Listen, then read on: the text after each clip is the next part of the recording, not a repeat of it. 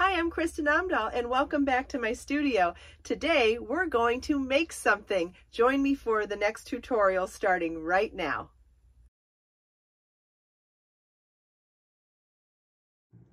In this video, I'm going to show you how to make the Gloria crochet shawl pattern and also show you how to make the really pretty edging too.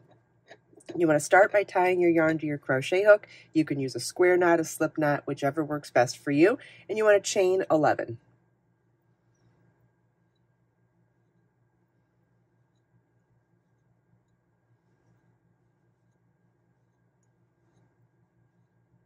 Single crochet in the second chain from your hook single crochet is insert your hook, yarn over, pull up a loop, yarn over, pull through two loops on your hook. You want a single crochet in each chain across.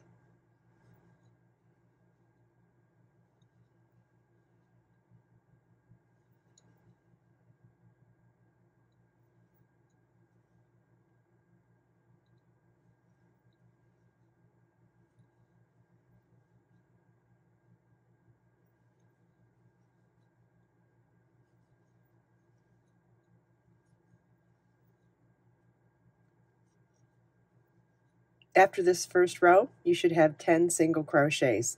Row 2 begins with a chain 1 and turn your work. And for the rest of the rows of the shawl, we're going to be working through the back loops only. Okay, so row 2 starts with two single crochets through the back loop only in the first stitch. And if you don't understand the back loop only, see there's the full stitch. There's like a V on the top. This is the front loop and that's the back loop. We're inserting our crochet hook in the back loop only. And you want to work two single crochets through the back loop only in each stitch across.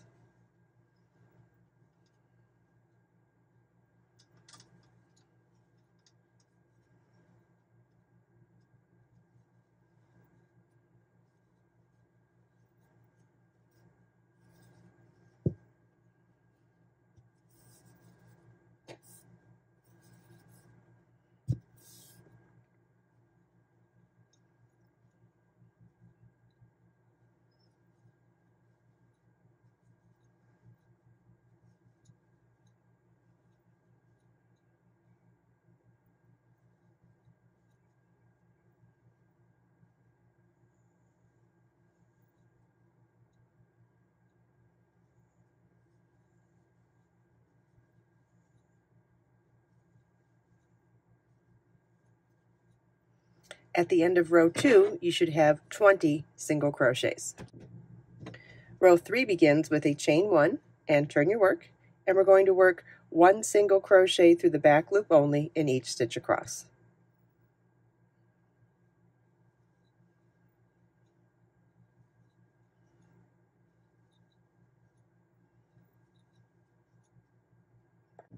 This is what your work should look like at the end of row 3. You should have 20 single crochets. Row 4 begins with a chain 5 that counts as our first double treble crochet. Turn your work, and we're going to work one double treble crochet through the back loop only in each stitch across. Double treble crochet is yarn over your hook three times.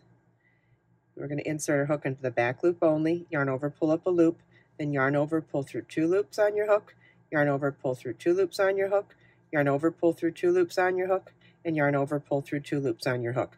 I get asked all the time how to keep good tension when you're making a longer stitch like this.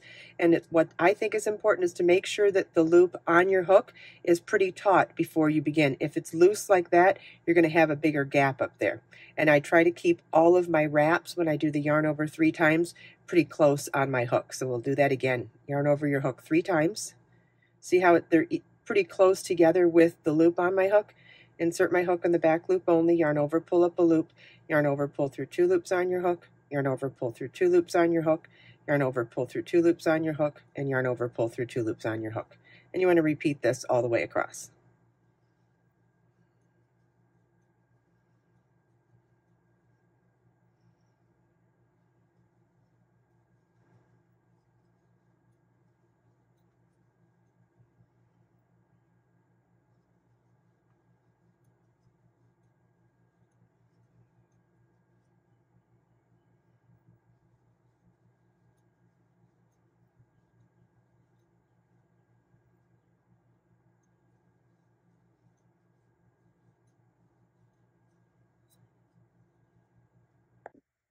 This is what your work should look like at the end of row 4. You should have 20 double treble crochet stitches.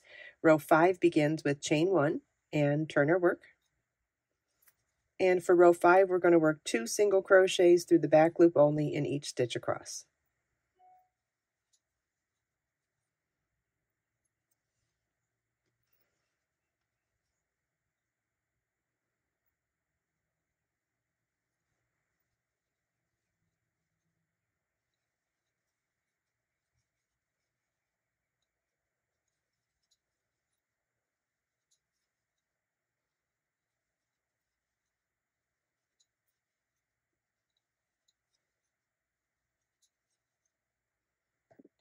This is what your work should look like at the end of row 5. You should have 40 single crochets. Row 6 begins with a chain 1 and turn your work. And we'll work one single crochet through the back loop only in each stitch across.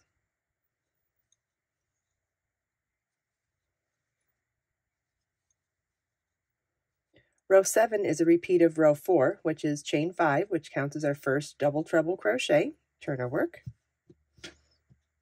and work one double treble crochet through the back loop only in each stitch across.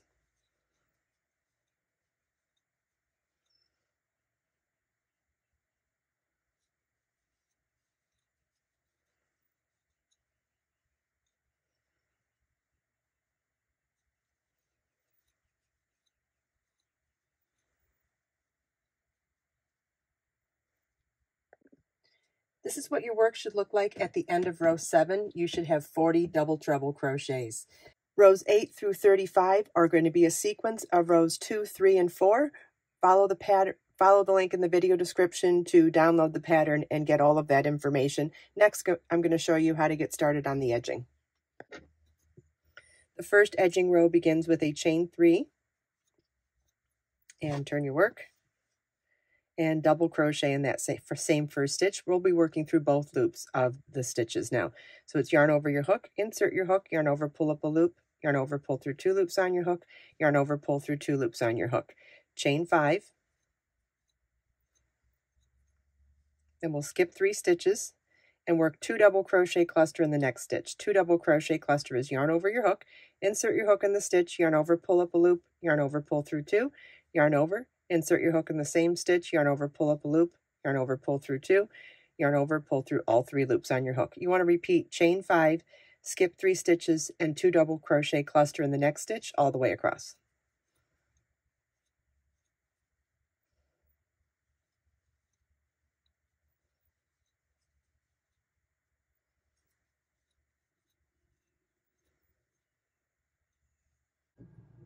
The next edging row begins with turning our work and slip stitching into that first chain five space, chain one, and single crochet in that same space. Chain five, single crochet in the next chain five space, chain nine,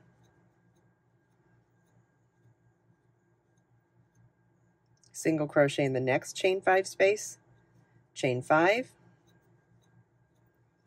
single crochet in the next chain nine chain five space and we'll repeat chain five single two more times.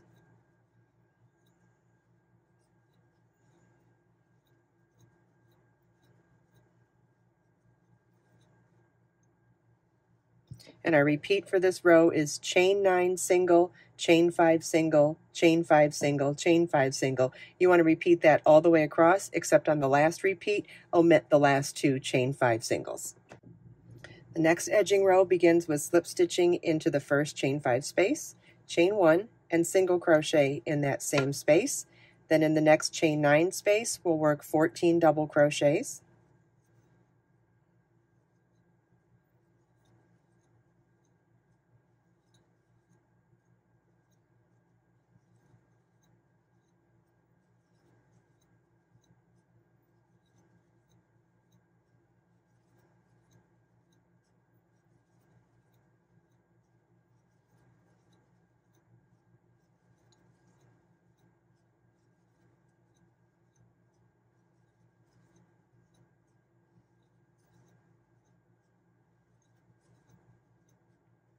And single crochet in the next chain five space, chain five,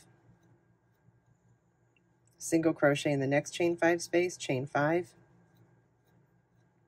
and single crochet in the next chain five space. Our repeat for this row is 14 double crochets in the next chain 9 space, then single, chain 5, single, chain 5, single. You want to repeat that all the way across, except on the last repeat, we're going to omit the last chain 5, single, chain 5, single. We'll just end with a single crochet in the last uh, chain 5 space. Okay, and our last row for the edging starts with a chain 1 and turn your work single crochet in the first single crochet. Then we're going to skip the first double crochet and work a double crochet in the next stitch. Chain one, we'll do double crochet, chain one five times.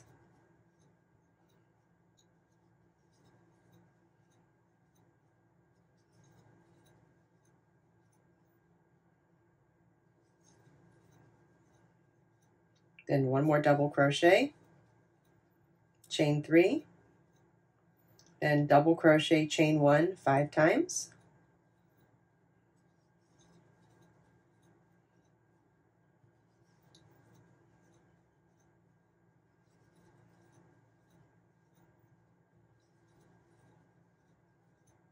One more double crochet. And single crochet in the next chain five space, chain five,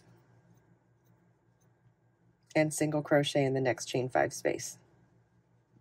Our repeat for this row is skip one double crochet, double crochet chain one five times, double crochet chain three, double crochet chain one five times, double crochet, skip one double crochet, single crochet in the next chain five space, chain five, single crochet in the next chain five space.